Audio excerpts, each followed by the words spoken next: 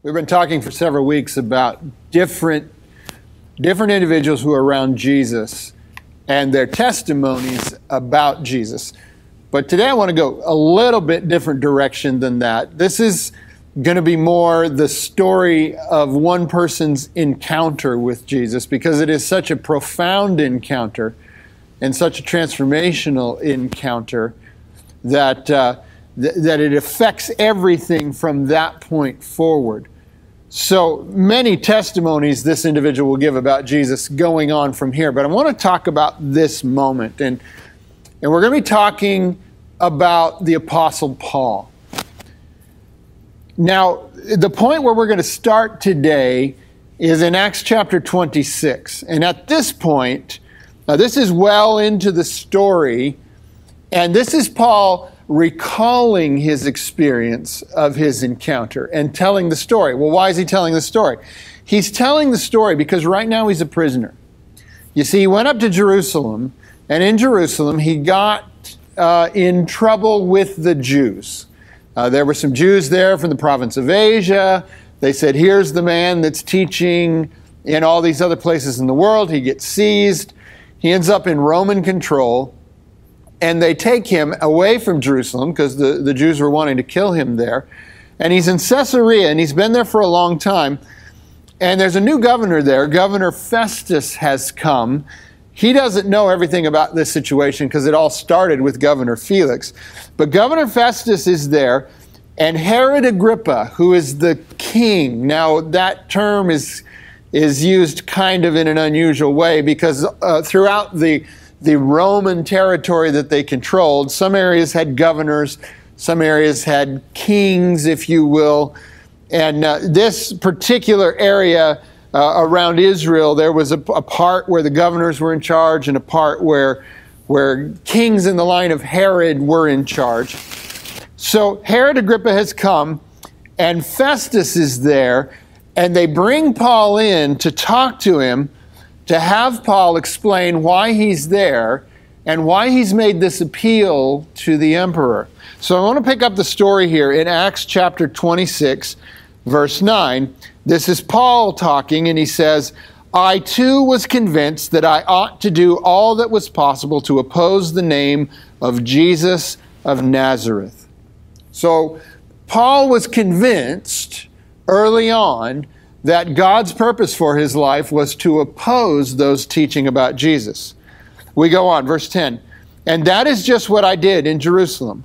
On the authority of the chief priests, I put many of the saints in prison, and when they were put to death, this is remarkable wording here, I cast my vote against them.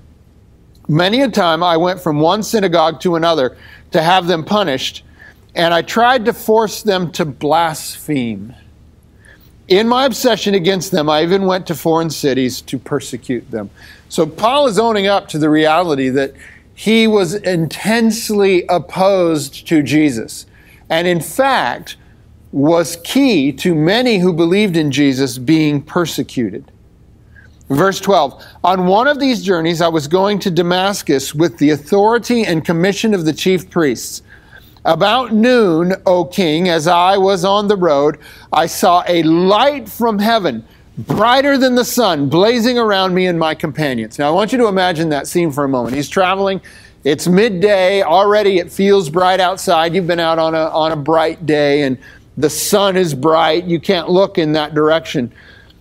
But so bright was this light that came upon Saul. He's called Saul at this point and blazing around him that it seemed brighter than the sun. So if you can imagine that scene for just a moment as you're traveling along, and suddenly here is this, this bright light, brighter than the sun. Verse 14, we all fell to the ground, and I heard a voice saying to me in Aramaic, Saul, Saul, why do you persecute me? It is hard for you to kick against the goads. Now, there are some different interpretations as to exactly what a goad was, but we don't tend to know what that is. We know that term, to be goaded into something, but we don't necessarily know where it comes from. Well, specifically, mostly when the word goad is used, it's related to what was called an ox goad. Now, an ox was used as a, as a, as a beast for pulling things. And you know, an ox, they're huge, they're very big, and uh, they don't really adjust their course with gentle persuasion. So the driver of the ox, whether the ox was plowing or pulling a load or whatever, would go along with a sharp stick, almost almost like a spear, if you will. Very often they had a metal point on the end of them because the ox had a very thick hide. And to get the ox to go forward or to get him to turn another direction, the driver would poke the ox with the sharp end of this stick or, or this uh, goad, it was called. And, you know, the ox didn't like that, so he would change direction or go somewhere else. Well, every now and then you would have what we might call an ornery ox who didn't like to do what he was told when he was poked. And, and he would push against it or even sometimes kick against the goad. And the only thing that really came of that was it hurt more. So so in this moment, we hear these words Saul, Saul, why do you persecute me? It is hard for you to kick against the goads. Then I asked, Who are you, Lord? So in this moment, Saul is overwhelmed. And he says, Who are you, Lord? And here's the answer I am Jesus, whom you are persecuting, the Lord replied. Now get up, stand on your feet. I have appeared to you to appoint you as a servant and as a witness of what you have seen of me and what I will show you. I will rescue you from your own people and from the Gentiles. I am sending you to them to open their eyes. There's, there's an irony in this right here, and we'll get to this in a second. To open their eyes and turn them from darkness to light and from the power of Satan to God, so that they may receive forgiveness of sins and a place among those who are sanctified by faith in me. So there's a lot contained in this, in this message. I am Jesus, the voice says. Now get up because anytime we encounter God in His glory, and we're going to talk about this a little more next Sabbath, anytime we encounter God in His glory, the light is overwhelming and we fall to the ground. And that's exactly what happens to Saul here. Saul here. So Jesus says, Get up because you're about to be commissioned. And here's your commission, Saul. You're going to be a servant and you're going to be a witness. And you're going to witness to what you've seen. So that means everything that's happened in his life so far, including this moment and what you will be shown. Now, this is an interesting point because sometimes God puts his commission upon us long before he gives us all the information. And the call is to receive that commission when it comes because there are the things that we've been shown so far, but then there are the things that the Lord has yet to reveal. And we will only get those when we need them at the right time. So, so the call is coming, but there is so much more that Saul will need to learn. Now, you get a sense here, this is going to be a dangerous mission. Because Jesus goes on to say, I'm going to rescue you from the Jews and from the Gentiles, and your purpose will be to open their eyes, to turn them from darkness to light, from Satan to God, so that two things can happen so that they can receive forgiveness of sin and that they can take their place amongst the believers. So, this is the mission. This is what Jesus has given Saul to do. And he'll later on be called Paul. And we'll, uh, we'll probably use those names interchangeably here because I'll, I'll lose track of which I'm saying. But no, if I say Saul, Saul or Paul, I'm talking about the same guy here. So here's the reality. If we were to look at Paul's life, he would get demerits for initially getting it wrong. Now, I don't know what his interaction was, whether he saw Jesus when he was uh, on earth. He doesn't seem to ever refer to that. He refers to this event, yet he was in Jerusalem and he knows all about. Uh, all about Jesus and this movement called the Way because he's opposing it. He gets demerits for getting it wrong at first. And just for the sake of saying it, sometimes we get stuff wrong at first. I get stuff wrong at first. You get stuff wrong at first. And it's not good, and it's, you know, not best. But here's the thing about Paul he gets praise for getting it right after Jesus calls him. We all have demerits from getting it wrong at first. But do we get it right after Jesus calls? I want to take you to another place where this story is told. It's told for the first time in Acts chapter 9. Now, what we're reading in Acts chapter 26 is Paul later in life telling the story. Acts chapter 9 is actually the chronological point at which the story takes place, as we're just getting to know Saul. And I want to go there, and I want to read you from Acts chapter 9, beginning in verse 3. As Saul neared Damascus on his journey, suddenly a light from heaven flashed around him. He fell to the ground and heard a voice say to him, Saul, Saul, why do you persecute me? Who are you, Lord? Saul asked.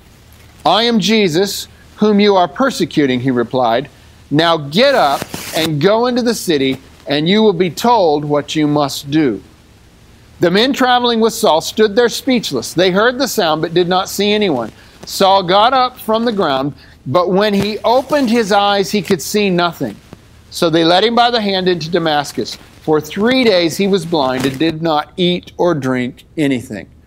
Now, what's interesting in this telling is there's a lot less detail reported here in what Jesus said than what Saul will tell when he tells the story himself in chapter 26. And, and as I've reflected on that, I, I can think of a couple reasons that that might be. First of all, it may be that that initial counter actually, encounter actually was more brief, like it says here, and that the main point was get up, go into the city, and I'll tell you what to do. And it was over that span of three days while Saul was blind that the rest of this, that God gave him the rest of his purpose, the rest of his mission. It's amazing how sometimes a disruption can bring clarity. So here's Saul. He's living his life. He's sure he's doing what God wants. He's persecuting the church. He's going against anyone who says they're Christian until this disruption to his life knocks him down and he's blind for three days. In the midst of these three days, his life goes through a transformation. It's amazing what can happen in a disruption and how a disruption can bring clarity. And I think maybe you know perhaps what I might be referring to here. Are any of you living a disruption right now?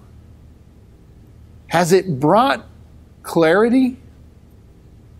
I've gained some clarity on some things over the last month and a half or so. Some of the some of the, the routines and things that I thought were essential versus the things that really are. It's made me rethink some things about my life. And the interesting reality here is blind Saul ends up being able to see way more than seeing Saul ever saw. You see, in his three days of blindness, he comes to realize the reality about Jesus. All of his years before that, when he could see, he was blind. And that's what makes interesting the words that, that Jesus says to him, You will make the blind to see. And as an illustration of that, he goes through the experience himself. He is blinded for three days.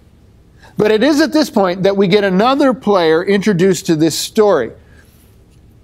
And this is something that I've learned that God likes to do. He's done it with my life and He's done it in my life. And that is, He likes to use another person to play a role in coming into our lives and impacting us at these key moments in a way that takes us to the next level. God likes to use us in each other's lives. But here's the thing in order for God to use us in someone else's life, we have to obey His voice and we have to do it the first time. We have to do it right then. When the goad comes, when we feel the goad of the Holy Spirit, We have to act, or else the moment is gone. So another player comes into this story.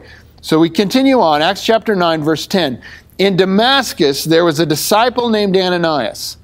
The Lord called to him in a vision, Ananias. Yes, Lord, he answered. The Lord told him, Go to the house of Judas on Straight Street and ask for a man from Tarsus named Saul, for he is praying.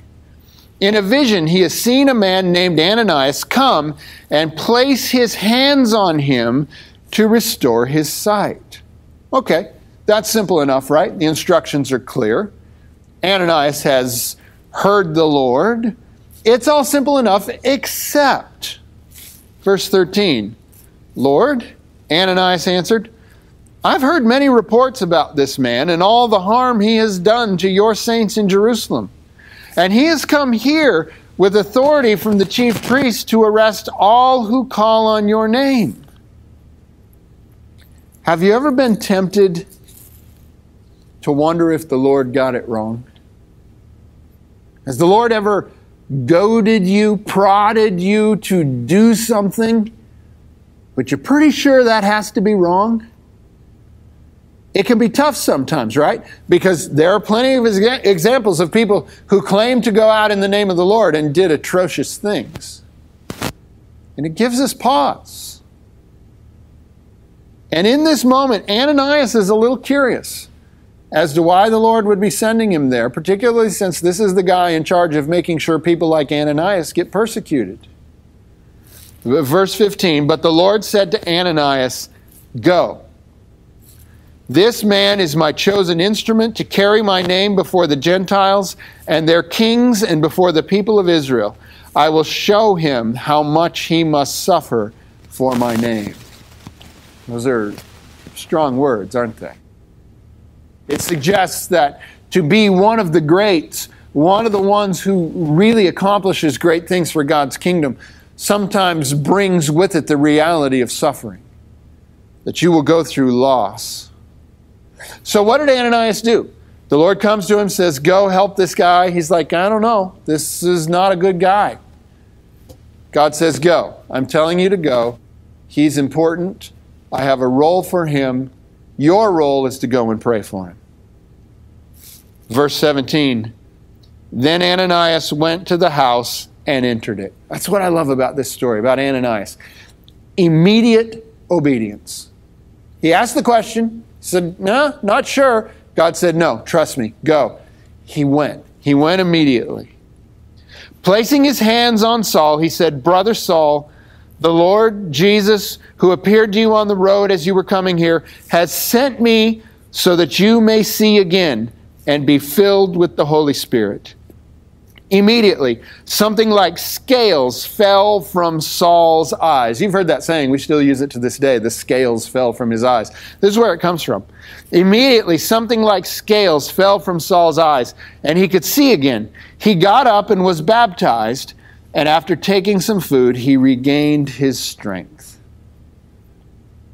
Ananias gets a lot of credit with me because he didn't waste any time kicking against the goads. He asked one question. God was clear. He went. So let me ask you this question Do you believe that God leads his people? Do you believe that God leads us? We just kind of out here on our own? This is kind of an interesting question, and it, it's received differently by different people. I think our our personality types plays into this a lot. There, there are those people who are constantly feeling led by the Lord. And then there are the others who aren't really sure if they've ever been led by the Lord or not. But it's pretty clear from Scripture that the Lord does lead in our lives. And, and usually, if we'll be honest, if we'll stop every now and then and look behind us at the road that the Lord has led us down, we'll see those places where the Lord led us. Even if we weren't sure? Do you believe God leads his people? So let me follow that up. Let's say you do believe it. Do you let God lead you? Ah, that's another question, isn't it?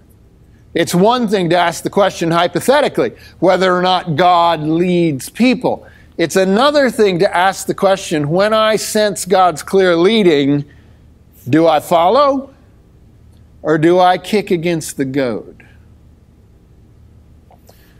I got to tell you, mine is a mixed record on this. I've got some points in my life where, where yeah, I, it looks like I followed that leading pretty good. For example, I used to be a chemical engineer, and then I felt like God was leading me. I felt the goad to dump that, go to seminary, and become a pastor. I, I, got that one right. I, I, I felt the goad, I moved, I did it, I took the action. Yet here's the irony. Since I've become a pastor, there have been examples of times where I have resisted the leading. You see, I'm not always easily led. It's been interesting to me throughout my life as I've looked at my life, the times where, where there was a sense of God clearly leading me in a way I understood. There are also the times when He led what I didn't even know He was leading.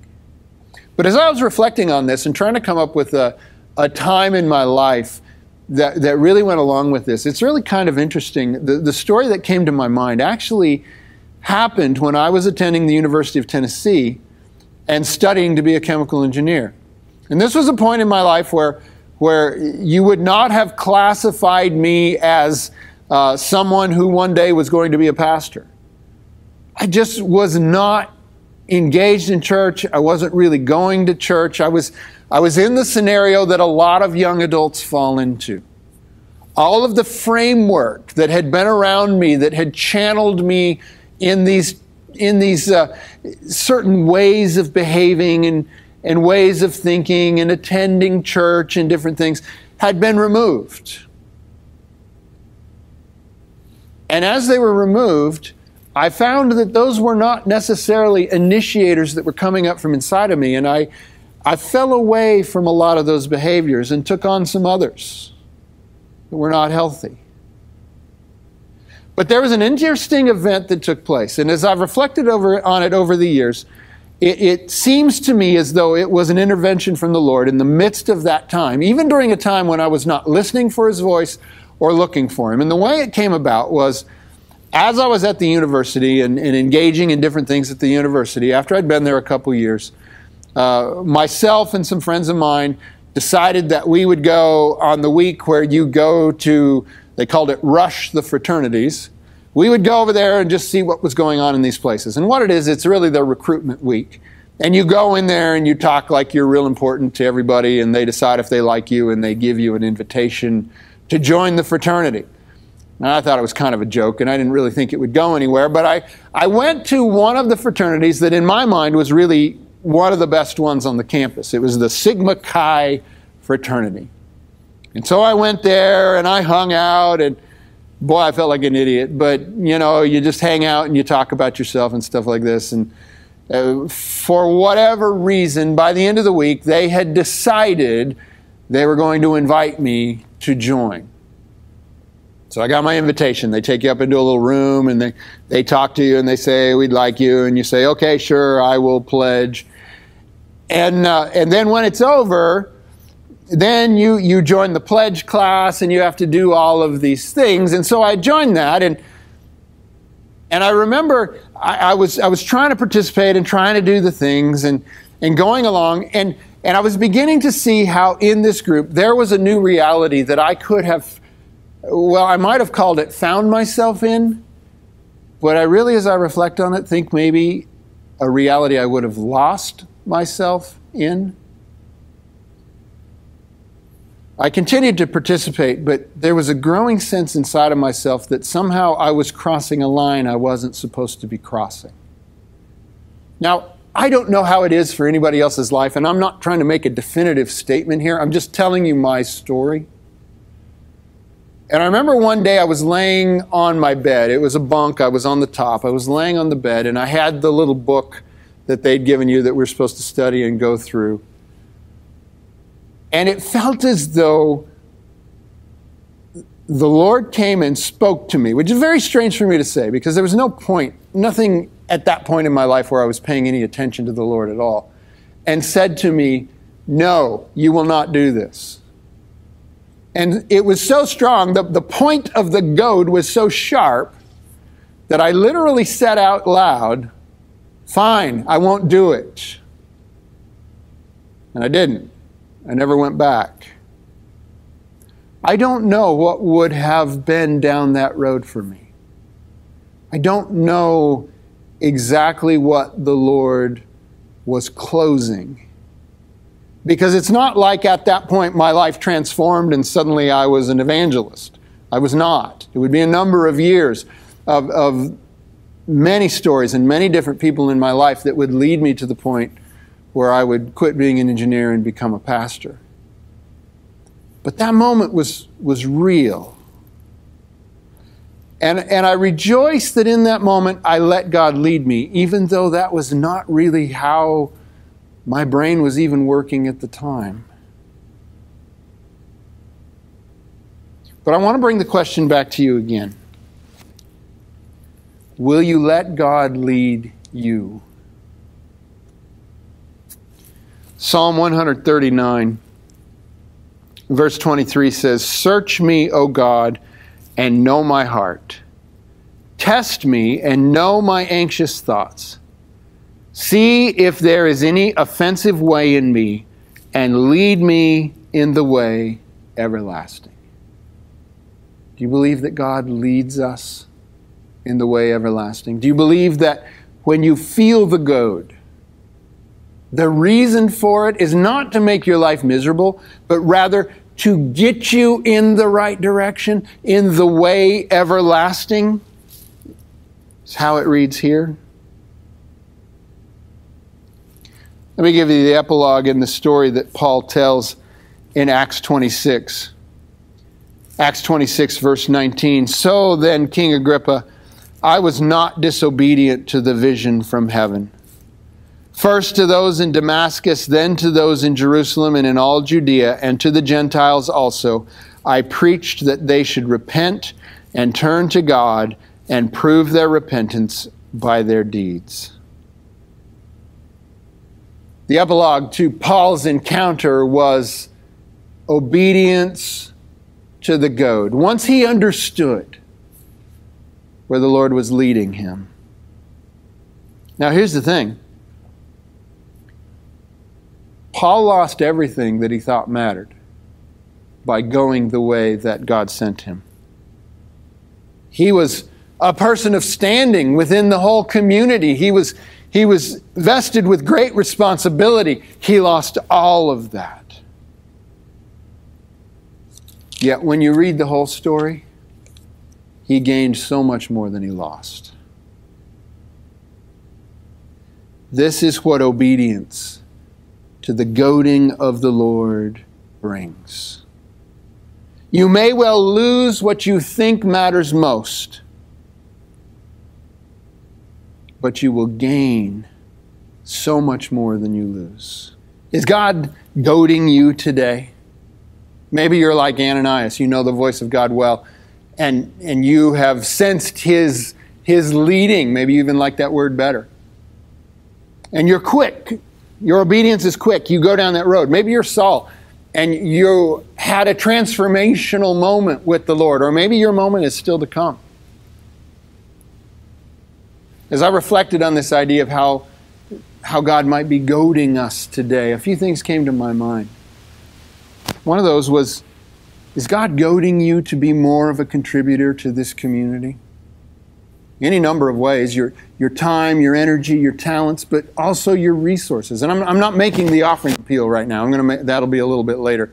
I'm not making the offering appeal right now. I'm not, I'm not asking, is God goading you to give on the basis of the church's need? I'm asking you, is God goading you this direction on the basis of your well being? Because if He is goading you down this road, it's because there's a reason. And it's because what you will find in faithfulness will be so much richer than what you've known holding everything to yourself. What else? Is, is God goading you to finally establish a, a dependable, continuous, daily Bible reading plan? Something that you will maintain? He's not doing it because somehow by doing this you will suffer and be miserable. He's doing it because this will become part of the richest part of your entire experience with Him. Is He goading you to end a destructive relationship? Is there someone in your life that really is just creating trouble for you, but you just can't stop? Maybe He's goading you to forgive when what you want most is to hang on to anger. The only reason He would do that is because if you will do what He's saying, if you will go in the direction He's leading, you will find so much more joy. Maybe He's goading you to love your family more. Your eyes have been somewhere else. You're focused on other things. Maybe he's saying, bring it back in. Look around this room. You're gathered in this room. If everything else is taken away, these are your people. These are the people you love. Maybe he's goading you to exercise. He got me on that one this year. Uh, he used uh, my son Gable as the means to achieve his end. And uh, we've kept going. We didn't let all of this craziness going on stop us. We're still going. Is he goading you to do that? Or maybe it's more fundamental. Is he goading you to stop pretending to be Christian and really be one? Not just going through the motions, not just participating because it's fun, not just coming for the music, but engaging finally giving it all over? I want to go back to this passage in Psalm 139. And I want us to be uncomfortable for a moment. Because this, these words, verse 23, Psalm 139 says, Search me, O God, and know my heart. My prayer right now all of us, wherever we are right now, is that we are wide open right now, and God, by means of the Holy Spirit, is searching our hearts. Test me and know my anxious thoughts. Do you have anxious thoughts? See if there is any offensive way in me. I'm going to pray this right now. Let's pray for a moment. Father, right now, by your Holy Spirit, search our hearts. See our reality, the lies that no one knows, the hidden things. Look upon it all and know the fullness of our reality. And then, with your goad of love, lead us down an everlasting road. Lord, where are we resisting you? Where are we kicking against your goad? Where are we pushing back? What is it we know right now? Right now, Lord, by your Holy Spirit, give us victory. Give us the desire to follow the way you lead. Give us insight and understanding. In Jesus' name, amen. Now, God has seen you. He knows all. He has seen all. He still loves you. His Holy Spirit has never been any closer. Repent of those things. Stop kicking against the Lord. Maybe this is your day to finally really become fully a part of the church of Jesus Christ. Give it all to Him today. Search me, O God. Know my heart. Test me and know my anxious thoughts. See if there is any offensive way in me, and lead me in the way everlasting. May that be our prayer. God promises to lead us. Let's trust Him and go where He leads.